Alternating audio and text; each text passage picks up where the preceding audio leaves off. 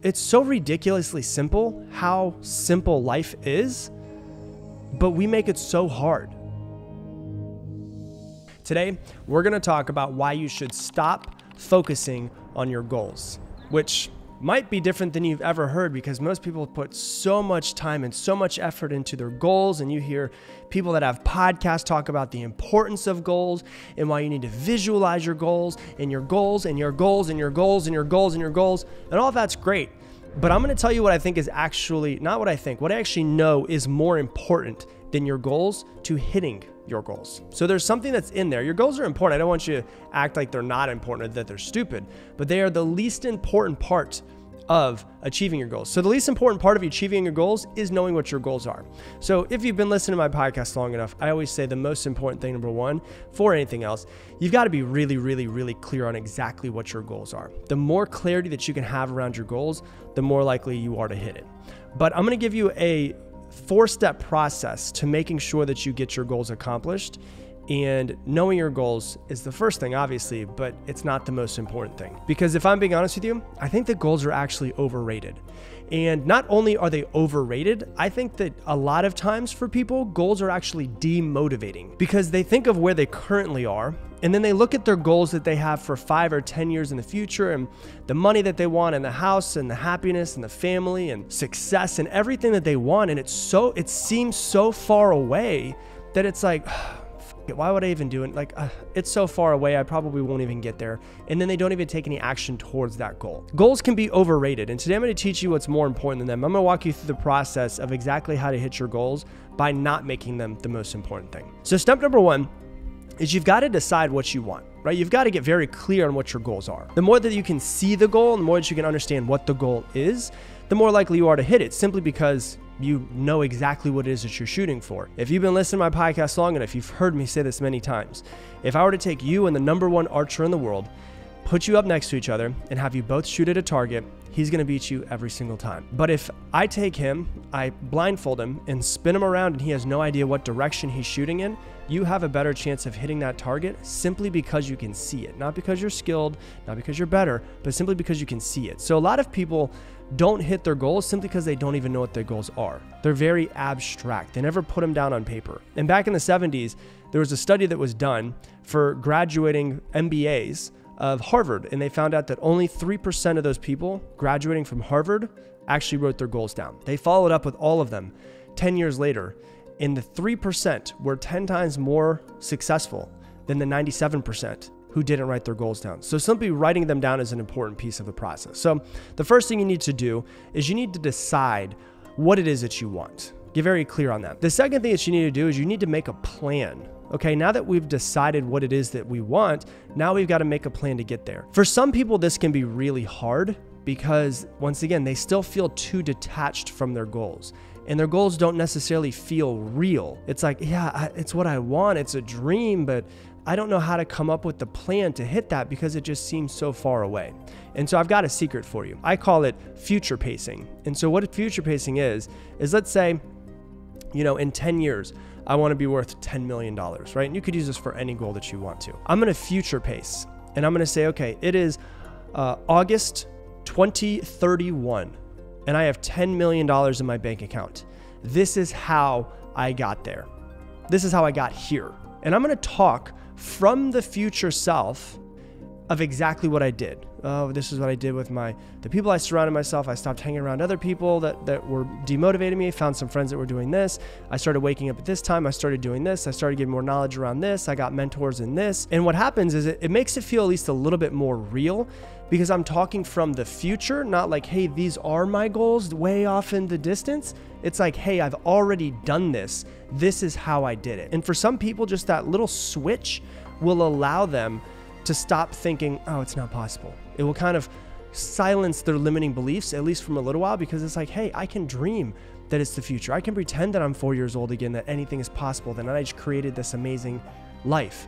Here's how I did it. And so, a second thing is to make a plan on how to get there.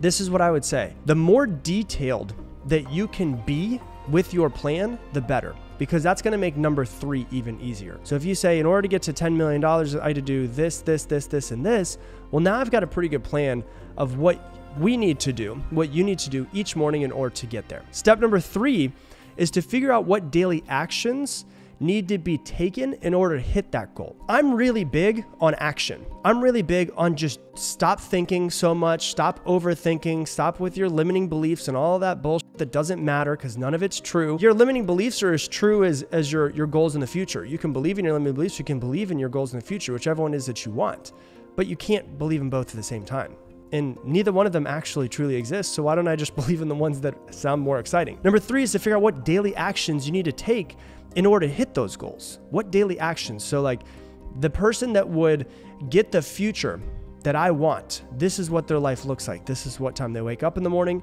This is how often they work out. This is the type of food that they eat. These are the people they hang out with. This is what they do with their day. This is how they talk to themselves in their head. This is their nightly routine. This is the type of dinner that they have, lunch. You go through every single detail and you start to make a plan of what would it look like for me to have what would I have to do daily? How would I have to operate as a human daily in order to be the person that could accomplish goals that are that amazing? And you start coming up with a very, very detailed plan. And then the fourth thing is that you wake up every morning and you make a plan for that day. This is something that I guarantee 95% of people listening to my voice right now. You don't make a daily plan. You might make a to do list or a checklist, but you don't make a daily plan of, okay, you know, I know where my future is, I know where my goals are, I know where it is that I'm going, but now I need to figure out what I need to do today because nothing else matters. I don't give a damn about tomorrow. The only thing that matters is actually today. So why don't I really milk today for every single thing that I can? I'm gonna make a goal today. And the easiest way to do this is this it's very simple. You make a to do list of everything that needs to be done today, knowing that 90% of the things that you put on that list are probably not gonna be done today and you have to be okay with that. Know that that majority of things are not going to be, you know, that you're going to put down on your to-do list today are probably not going to be done today unless they absolutely have to be done today. You look at that to-do list and you figure out what your number 1, number 2, and number 3 most important goals are for that day of what has to be done. What action items are the most important action items for the day. And what you do is you take a 3 by 5 card, a cue card, and you write number 1 and you write it down. Under that you write number 2 and you write it down you write down number three, and you write it down. You don't do anything at all until number one is done. That's it. I don't care if you get to number two or number three. As long as your most important thing gets done each day, you're going to start doing really well. And then after number one is done, now I can move on to number two.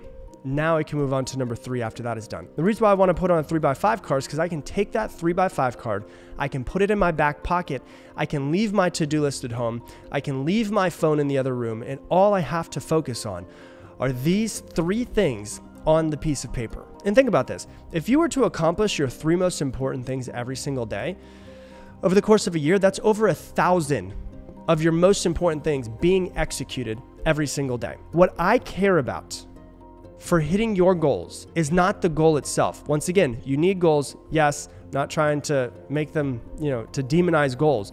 They're needed, but they're not the most important thing. Why?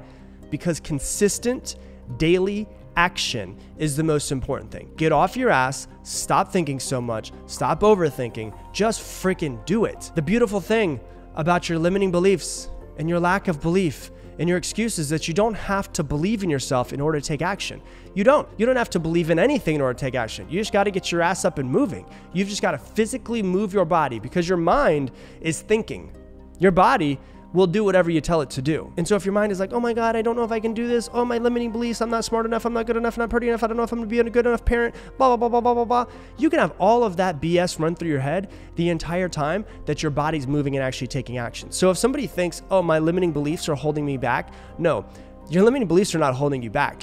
Your thoughts about your actions that need to be taken are actually what's holding you back. And so if you just move your body in whatever it is that needs to be direct, the, the direction that needs to in order to be successful, that's it. It will eventually work. And so what you have to realize is there's three things that are the most important pieces to hitting a goal. Number one, direction, which is knowing what the goal is, what the end result is you're trying to hit. Number two is action. And number three is time. It's so it's so ridiculously simple how simple life is, but we make it so hard of like how simple success is. But we make it so hard because we put our mind in, our mind gets in the equation. It starts making a bunch of stuff that doesn't matter. You need direction, you need action, and you need time. That's it. Direction, action, time. So let's say, for instance, I talk about a lot because it's just a simple thing because it's we can put numbers to it. Let's say you want to lose weight. Okay? Lose weight. Let's figure out what is the direction that we're going towards. That would be considered the goal, right? The direction. Okay, I want to lose 20 pounds. So when I when I say I want to lose 20 pounds, what direction would I need to be heading every single day, every single week in order to lose 20 pounds? You know what? I'm going to do 4 workouts a week. That's part of my direction that I'm going to. Okay? Four workouts a week. We got it. I'm going to know what meals I'm going to be eating for breakfast, lunch, and dinner, and all of my snacks in between. I'm going to know every meal going into this next week. That's direction. Part of my direction is I'm going to actually decide that I'm going to remove all of the food that doesn't serve me or isn't part of my meal plan. It's going to be gone. It's not going to exist in my house. I'm going to get rid of all of the sodas. Only thing I'm going to drink is water. There's not going to be any alcohol. There's not going to be any, you know, margaritas. There's not going to be not going to be any beer. There's not going to be any wine. So now I've got a pretty good idea of the direction that I need to head in. Okay? Now the next thing I do, need to do is I need action. Okay? What have I decided? I've decided that I need to work out 4 times a week. I need to figure out what days those are, what times I'm going to be working out, and I'm gonna need to put it in my schedule so I don't try to get out of it. The action that I need to take, just make sure my ass is in the gym when I say I'm going to be in the gym. And to make it even better, if I have my workouts planned, all I have to do is show up, look at the workout that I already have planned, and then just execute. That is action. What else? I need to prep on Sunday all 21 meals that I need to make. I need to go to the grocery store. I need to take a couple hours and make sure that it's done because if it's important to you, you'll find a way. If it's not important to you, you'll find an excuse. So I'm going to take some time on Sunday when I could be hanging out by the pool or at the beach or at the lake, drinking some mimosas and having brunch with my friends. I could do all that if I wanted to, but that's not in the direction of my goals. So I'm not going to do that. I'm going to go to the grocery store. I'm not saying don't enjoy your life either. Enjoy your life, but if your goals are important to you, you need to get these things down. Then what I'm going to do is I'm going to walk into the grocery store. I'm going to buy all of the food that I need and I'm going to take a couple hours and I'm going to meal prep and put all of those meals into glass containers that I can just take with me whenever I leave and I go to work. That's the action that needs to be taken. What's the other action? Remove all of the crappy food that I've already decided I'm not going to be eating. That is the action. So I've got the direction. Now I've taken the action. What's the last piece? time. Just be patient. That's it. We think that we're supposed to have the life that we want, the body that we want, the success that we want, the business that we want, the relationship that we want, like that. Like it's just gonna happen. It doesn't happen that way. That's not how life works. You know in your head right now that going to the gym four times and planning out seven days of meals on day seven, you're not going to be the, in the best shape of your entire life. You're not going to be ripped and sexy and ready to hop in a bikini or to be in your bathing suit or have six pack abs. You're not going to have those in seven days. You know that. So as long as you just have, what did I say earlier? Consistent daily action, you're eventually going to get to wherever it is that you need to go consistent daily action, consistent daily action, consistent daily action. I don't care what's going on in your mind. All I care about is that you move your body into the direction of the goals that you're working towards. Direction, action, time. Let's say that you want to save $6,000 this year. You've never saved any money before. And you only make 30 grand, 40 grand, 50 grand, and you're like, I want to save money. I want to finally be able to save money. Okay, direction. All right, I need to stop going out to eat so much. Okay, that's a little put, gonna put me in the direction I want. I need to automatically deduct from my paycheck. That would help me if I just had an automatic deduction that went into a separate bank account and I need to check my bank account every day. That's pretty good direction to get me towards saving that $6,000 over the course of the year. Okay, that's direction.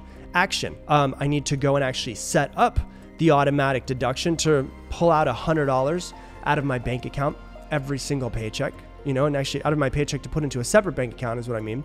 Uh, I need to make sure that I go to the grocery store so that I have enough food, so that I, I can have the food in my house, so that I don't feel like I need to go out to eat. I need to make sure that I set up everything that I need to, to to make it as easy as possible for me to save money.